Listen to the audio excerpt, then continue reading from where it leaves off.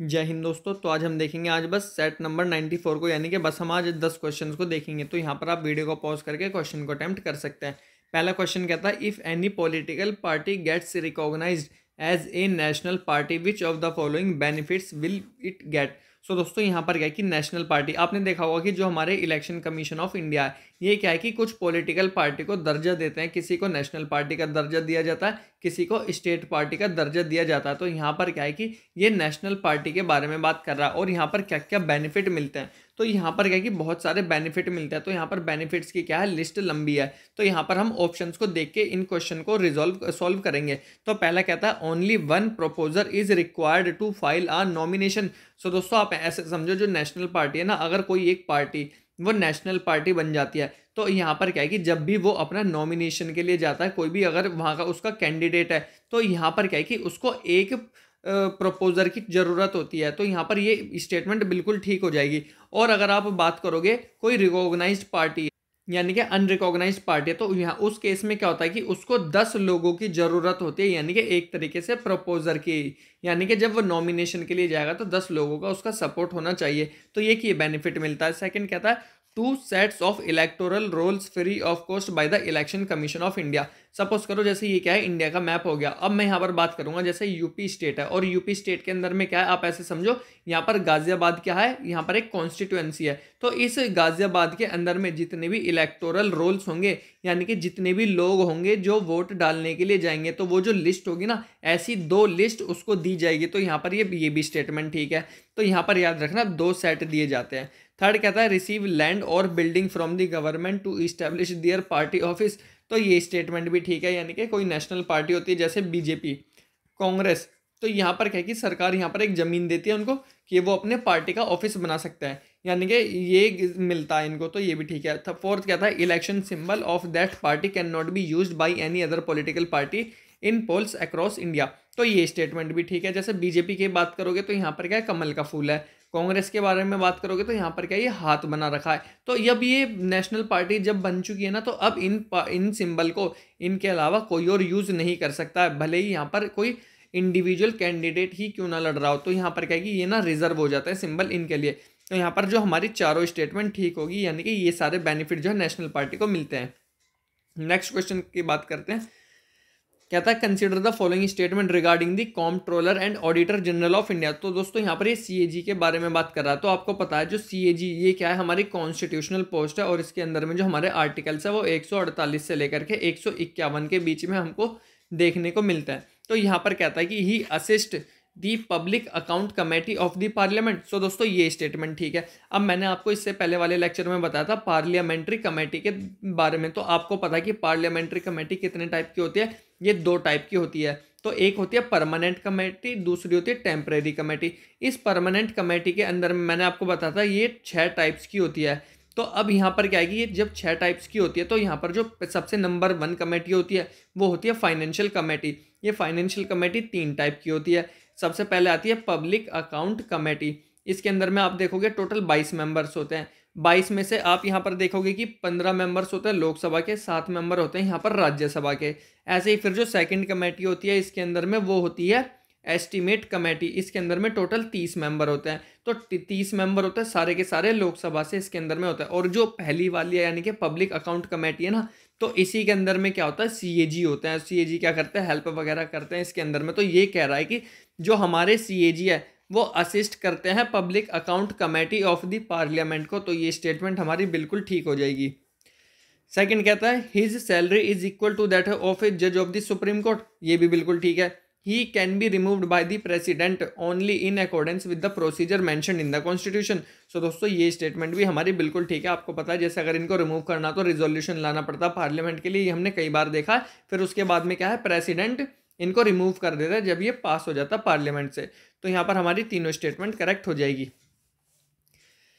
Third question क्या था? Which of the following languages were added through an amendment to the eighth schedule of the Indian constitution तो दोस्तों, ये eighth schedule के बारे में बात कर रहा है। आपको पता हमारे इंडियन कॉन्स्टिट्यूशन में कितने शेड्यूल्स है? टोटल बारह शेड्यूल्स है। और इन बारह शेड्यूल्स में से जो हमारा एट्थ वाला शेड्यूल है यानी कि ये हमको किसके बारे में बताता? है ऑफिशियल लैंग्वेज के बारे में बताता है। तो जब यहाँ पर देखोगे कि इंडिया आप ऐसे देखो 1950 में देखो और आज 2023 चल रहा है तो जब 1950 में हमारा कॉन्स्टिट्यूशन बनकर तैयार हो चुका था, बिल्कुल कमेंट जो हो चुका था तो उस टाइम पर हमारे टोटल चौदह लैंग्वेजेस को रिकॉग्नाइज करा गया था, यानी कि हमारे एट्थ शेड्यूल में चौदह लैंग्वेजेस थी। लेकिन आज 2023 के बारे में बात करोगे तो टोटल बाईस लैंग्वेजेस हमारे इसके अंदर में देखने को मिलती है, लेकिन यहाँ पर एक एक्सेप्शन है। यहाँ पर जो इंग्लिश लैंग्वेज है ना, वो हमारी एट्थ शेड्यूल के अंदर में नहीं है। तो ये कि इंपॉर्टेंट पॉइंट है। तो यहाँ पर कह रहा है कि इसको, इनमें से कौन सी लैंग्वेज इसको हमने ऐड करा था अमेंडमेंट के द्वारा? संथली, सिंधी, मैथिली कौन नहीं? सो दोस्तों, यहाँ पर क्या है कि आप देखोगे कि धीरे धीरे इसमें forty second amendment nineteen seventy six में लैंग्वेज करी जाती है फोर्टी फोर ऐसे क्या है? तो ये जो चार ही है ना चारों जो लैंग्वेज है, संथली, सिंधी, मैथिली कौनकनी तो यहाँ पर क्या कि आपको याद करनी पड़ेंगी, इसकी कोई ट्रिक नहीं है। तो एक बार आप पढ़ लोगे तो आपको पता लग जाएगी कौन कौन सी लैंग्वेजेस हमारे इसके अंदर में है। तो याद रखना इंग्लिश जो है इस बाईस लैंग्वेजेस के अंदर में नहीं है। तो हमारा जो आंसर होगा, यहाँ पर चारों स्टेटमेंट हमारी होगी, यानी कि ये चारों अमेंडमेंट के ज़रिए एड ऑन करी गई थी। नेक्स्ट क्वेश्चन की बात करते हैं, कहता है with reference to the process of social audit in India consider the following statement so दोस्तों, यहाँ पर सोशल ऑडिट के बारे में बातचीत करी जा रही है। तो आप ये देखोगे, जैसे इंडिया में क्या है कि बहुत बड़ी कंपनी वगैरह है। सरकारी कंपनी की बात करते हैं, सरकार की पीएसयू के बारे में। तो अब सपोज़ करो, सरकार ने फंड यहाँ पर प्रोवाइड कर दिया। अब जब फंड प्रोवाइड कर दिया, हमारे हम मतलब कोई स्कीम निकाली उसको इम्प्लीमेंट करने के लिए तो ग्राउंड लेवल पर वो कितना इम्प्लीमेंट हुआ है और पेपर वर्क में कितना उन्होंने कंपनी ने दिखाया है तो यानी कि एक्चुअल में कितना हुआ है और सरकार ने कितना दिया है तो यानी कि उसको चेक करने के लिए यहाँ पर ऑडिट कराई जाती है। तो यहाँ पर इसके बारे में बात कर रहा है सोशल ऑडिट के बारे में। तो कह रहा है कि जो डिटेल्स होती है of both the financial and non financial resources use for the development process by a public agency are disclose under the purview of social audit so दोस्तों, ये स्टेटमेंट ठीक है। आप ऐसे समझो कि जो सोशल ऑडिट यहाँ पे क्या है कि कोई ये ऑडिट के लिए कोई भी हो सकता है, ये गवर्नमेंट के एम्प्लॉयज़ हो सकते हैं, कोई गवर्नमेंट के कॉरपोरेशन होते हैं, कोई एक्सपर्टीज़ हो सकता है तो इस सोशल ऑडिट के अंदर में बहुत सारे लोग हो सकते हैं। तो यहाँ पर क्या है, कोई भी कंपनी है ना, उस कंपनी के अंदर में कोई भी फाइनेंशियल डेटा हो या फिर नॉन फाइनेंशियल रिसोर्सेज हो तो उसकी जाँच पड़ताल करते हैं तो यहाँ पर दोनों काउंट होगी। तो यहाँ पर क्या कि यूपीएससी फंसा सकती है यानी कि वो इस बोथ वर्ड को हटा भी सकती है और हमको कंफ्यूज भी कर सकती है। याद रखना फाइनेंशियल रिसोर्सेज हो या फिर नॉन फाइनेंशियल रिसोर्सेज हो, दोनों को काउंट करा जाता है। सोशल ऑडिट के ज़रिए तो ये स्टेटमेंट ठीक है। सेकंड कहता है social audits were given statutory status for the first time under the Mahatma Gandhi national rural employment guarantee act 2005 so दोस्तों, ये स्टेटमेंट भी ठीक है। तो आपने देखा 2005 में क्या है, मनरेगा लाया जाता है। हमारे मनमोहन जी की सरकार के द्वारा। तो यहाँ पर क्या कि आपने देखा मनमोहन संघ सरकार, जो सरदार जी है, इन्होंने क्या करा? ये स्कीम लिया है। तो यहाँ पर क्या कि बहुत ये फंड निकाला इसके अंदर में। तो यहाँ पर क्या कि स्कीम से निकाली और यहाँ पर कितना इम्प्लीमेंट करा जा रहा है एजेंसियों के द्वारा, उसको चेकआउट करने के लिए। उस टाइम पर क्या है? ये सोशल ऑडिट को यहाँ पर पहली बार स्टैचुटरी स्टेटस का दर्जा दे दिया। तो ये बिल्कुल फैक्चुअल क्वेश्चन है। तो यहाँ पर ये स्टेटमेंट करेक्ट है। तो हमारा जो आंसर होगा, यानी कि दोनों स्टेटमेंट करेक्ट हो जाएगी। नेक्स्ट क्वेश्चन कहता है as per the provisions of the consumer protection act 2019 consider the following statement so दोस्तों, ये वेरी वेरी इंपॉर्टेंट लगा लो, क्योंकि क्या है कि इसमें हम जैसे जो कंज्यूमर होते हैं ना, हमको प्रोटेक्ट करने के लिए सरकार बहुत सारे स्टेप्स लेती है। अभी आपने देखा कंज्यूमर प्रोटेक्शन एक्ट हो गया 2019 का, अभी 2022 में कुछ अमेंडमेंट वगैरह लेकर के आए थे इसके अंदर में। तो यहाँ पर कहता है कि जो सेंट्रल कंज्यूमर प्रोटेक्शन अथॉरिटी है under the act can suo motu inquire and investigate violation of consumer right तो ये स्टेटमेंट ठीक है सपोज़ करो आप क्या है, आप कुछ सामान लेने गए।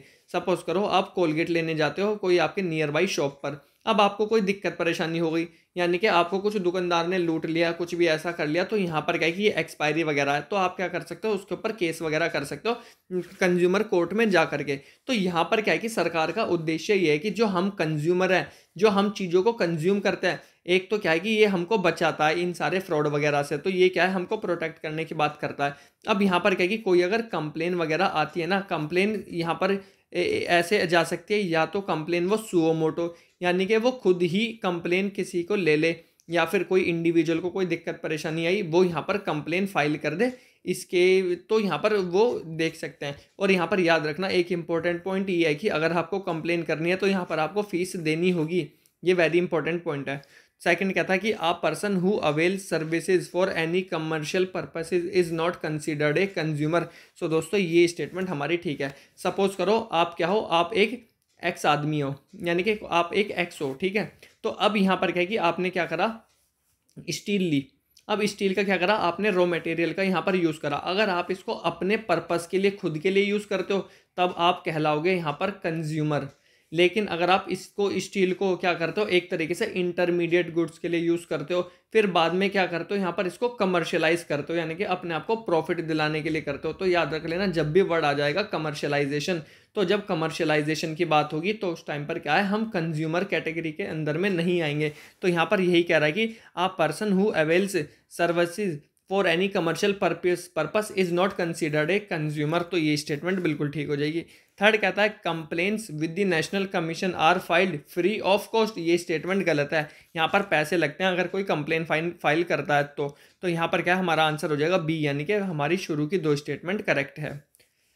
नेक्स्ट क्वेश्चन की बात करते कहता है with reference to the one nation one ration card programme consider the following statement so दोस्तों, यहाँ पर आप देखो, आपने देखा है कि बहुत सारी चीज़ें चल रही हैं इंडिया के अंदर में one nation one ration card तो इस तरीके से क्या है कि one nation one tax one nation, one ration card. तो ऐसे क्या कि बहुत सारी चीज़ें ये इस तरीके से चल रही है। तो अब देखो, ये क्या है? राशन आ रहा है। तो राशन से राशन से आप क्या समझोगे? ये क्या है? ये खाना प्रोवाइड करता है फ़ूड प्रोवाइड करता है। तो ये कौन सी मिनिस्ट्री के अंदर में आता है? ये फ़ूड मिनिस्ट्री के अंदर में आता है। आप इस तरीके से याद रखना।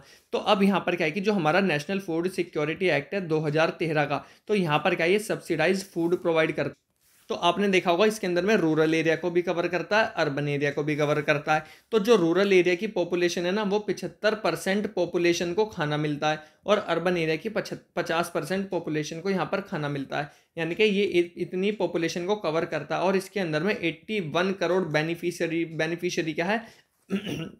यहाँ पर सब्सिडाइज रूप में क्या है? फ़ूड प्रोवाइड करता है तो याद रखना जितने भी राशन कार्ड होल्डर्स हैं, सारे के सारे एलिजिबल हैं, यानी कि जितने लोगों के पास में राशन कार्ड होगा, वो इसके तहत में क्या है सब्सिडाइज फ़ूड ले सकते हैं one nation one ration card के तहत में।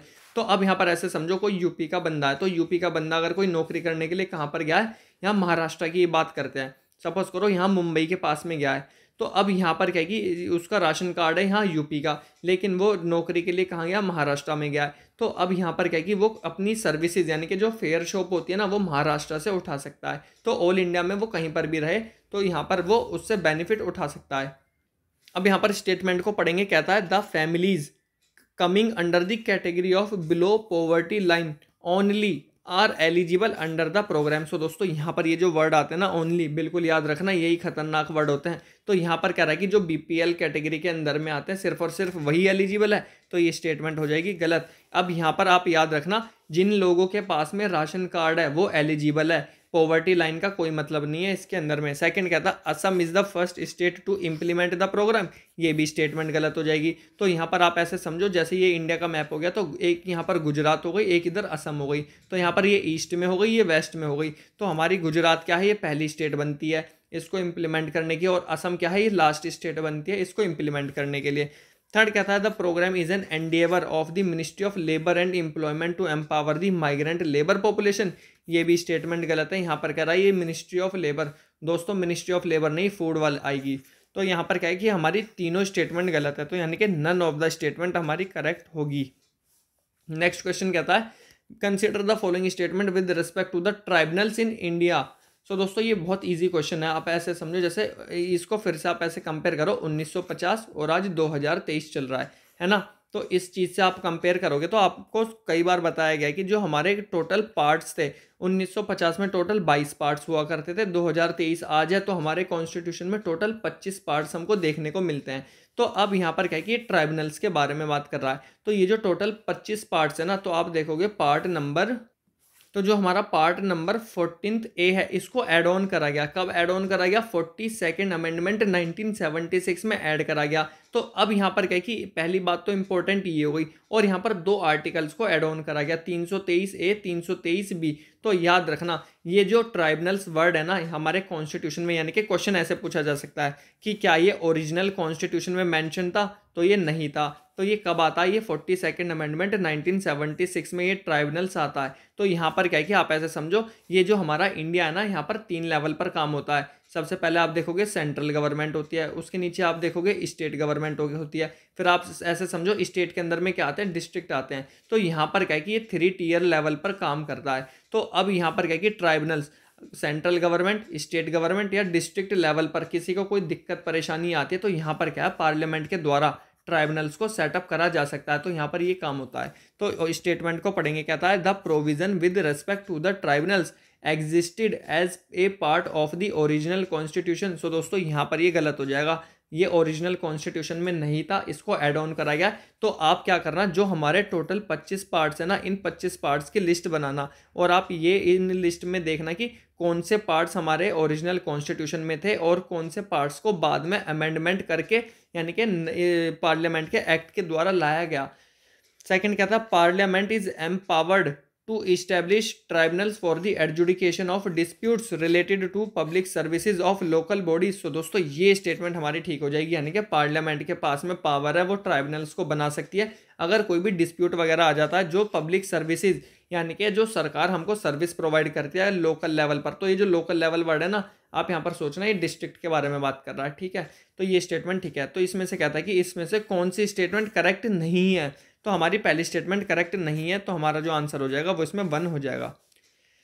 नेक्स्ट क्वेश्चन कहता है consider the following statement with respect to national achievement survey दोस्तों, बहुत इंपॉर्टेंट क्वेश्चन है, ये एजुकेशन से रिलेटेड है। तो अभी आपने देखा कि हमारे पास में क्या है एसर रिपोर्ट आई थी। तो एसर रिपोर्ट कौन इसको लॉन्च करता है, जो एक एनजीओ है, जिसका नाम है प्रथम। यहाँ पर ये रिपोर्ट करता है और यहाँ पर इसने बताया कि कैसे कोविड पेंडेमिक के बाद में प्राइवेट ट्यूशन्स की मतलब बच्चों प्राइव बच्चे जो है प्राइवेट ट्यूशन्स में ज़्यादा एडमिशन लेते हैं। सरकारी स्कूलों में एडमिशन ज़्यादा हुए बच्चों के पास में मोबाइल क्या है? वो डबल हुआ है। तो ये सारी रिपोर्ट अभी ए सर ने बताई और अभी आप, मैंने आपको विजन और इनसाइट्स के करंट अफेयर्स में भी बताया था कि कैसे ए सर की ये जो एनजीओ प्रथम की रिपोर्ट है 2018 में आती है फिर उसके बाद में 2022 में आती है, यानी कि चार सालों के बाद में आती है, कोविड पेंडेमिक वगैरह हो गया, इस तरीके से।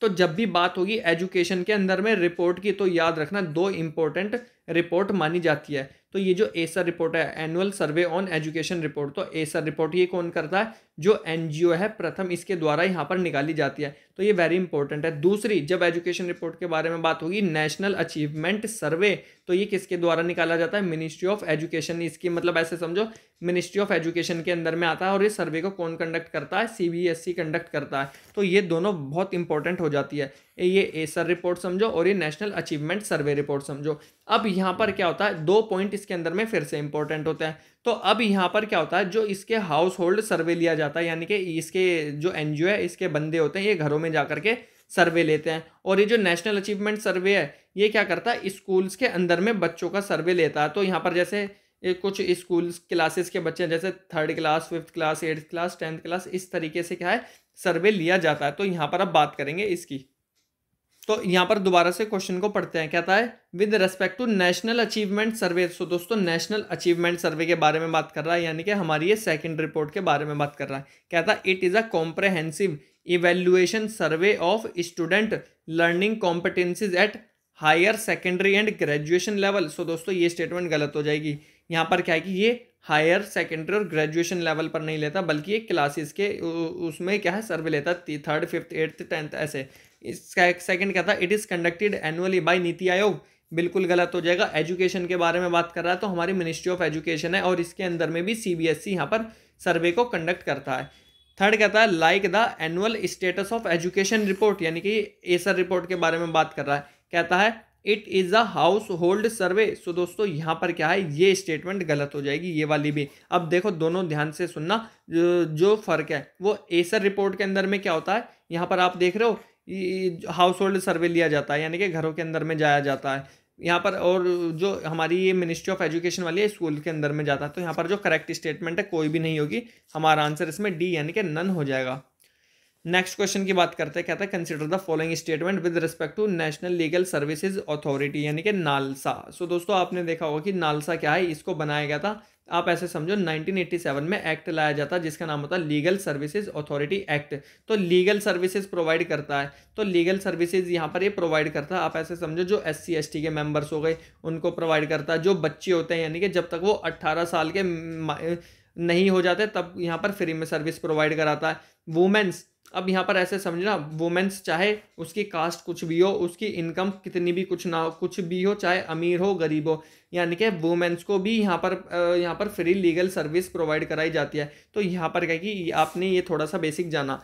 तो अब और इसी के अंदर में क्या है, आपने देखा होगा कि लोक अदालत को बनाया गया था, और लोक अदालत का डिसीज़न क्या होता है, ये फाइनल होता है और बाइंडिंग होता है दोनों पार्टी के ऊपर में। और यहाँ पर याद रखना, लोक अदालत के अंदर में अपील नहीं कर सकते, हमको, हम मतलब अपील कहीं पर भी नहीं कर सकते, हाई कोर्ट, सुप्रीम कोर्ट कहीं पर भी नहीं कर सकते, दोनों पार्टी को डिसीज़न को मानना होता है, यानी कि इसका जो डिसीज़न होता है वो बाइंडिंग होता है।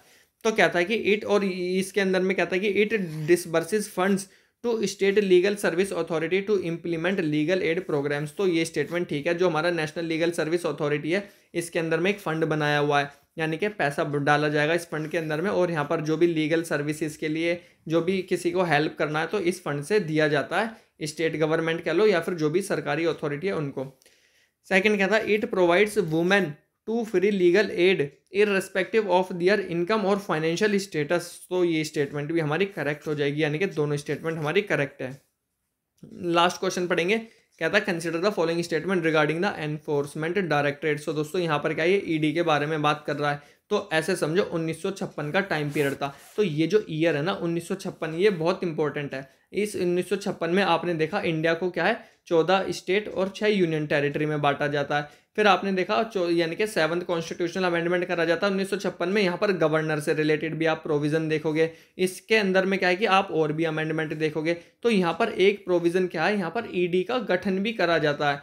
तो ऐसे क्या है कि कुछ पॉइंट याद रखना, हो सकता है कहीं पूछ ले कि 1950 के डिकेड में क्या क्या पॉलिटी के अंदर में डिसीजंस लिए गए थे। तो अब यहाँ पर देखो ईडी को कब बनाया गया था? उन्नीस सौ छप्पन में बनाया गया था। Enforcement directorate. तो यहाँ पर कह रहा है कि it is a statutory body so दोस्तों, यहाँ तक तो स्टेटमेंट हमको बिल्कुल ठीक लगती है, क्योंकि यह एक्ट के ज़रिए बनाई गई थी पार्लियामेंट के एक्ट के ज़रिए तो वो स्टैचुटरी बॉडी हो गई। कहता है established under the prevention of money laundering act so दोस्तों, यहाँ तक अभी ये स्टेटमेंट गलत हो जाएगी। जो prevention of money laundering act है ना, ये 2002 में लाया गया था। और यहाँ पर क्या है, ये उन्नीस सौ छप्पन में बनकर तैयार हो गई थी तो यहाँ पर ये रद्द हो जाती है।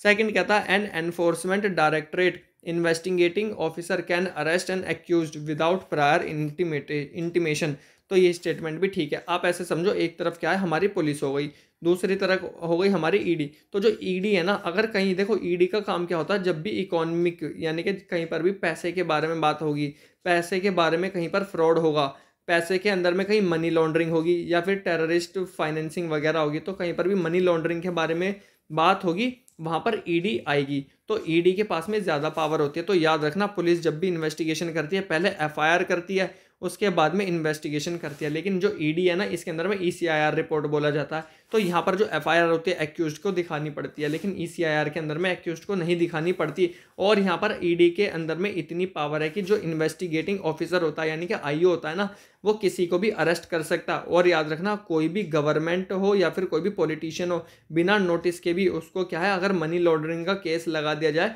तो यहाँ पर समन कर सकता है ईडी तो ईडी के हाथ में बहुत बड़ी पावर होती है। तो ये सेकंड स्टेटमेंट में यही कहता है कि जो एनफोर्समेंट डायरेक्टरेट यानी कि जो ईडी का आईओ होता है, वो अरेस्ट कर सकता है अक्यूज को बिना किसी इंटीमेशन के। तो ये स्टेटमेंट ठीक हो जाएगी। थर्ड कहता है इट इज़ द ओनली देखो फिर से ओनली वर्ड आ गया। कहता है only central investigating agency that does not require permission from the government to summon और प्रोजिक्यूट पॉलिटिशियंस और government officials for inquiry into economic offences and financial crimes तो ये स्टेटमेंट हमारी करेक्ट हो जाएगी। इसको किसी की भी मतलब परमिशन की ज़रूरत नहीं होती। अगर किसी को समन करना है प्रोजिक्यूट करना है, याद रखना पॉलिटिशियन के बारे में बात कर रहा है या फिर अगर कोई गवर्नमेंट ऑफिशियल्स है तो। और यहाँ पर केस कब माना जाएगा? इकोनॉमिक ऑफेंस होगा या फिर मनी लॉन्ड्रिंग का केस होगा। यानी कि पैसों से रिलेटेड जब होगा तो यहाँ पर ये काम है। तो यहाँ पर क्या है? करेक्ट स्टेटमेंट हमारी सिर्फ़ और सिर्फ़ सेकेंड एंड थर्ड यहाँ पर होगी। सो दोस्तों, आज के लिए बस दस क्वेश्चन को रखते हैं। So thank you guys